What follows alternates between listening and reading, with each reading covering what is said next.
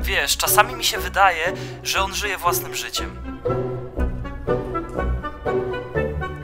Jakby dwie osoby, ale w jednym ciele.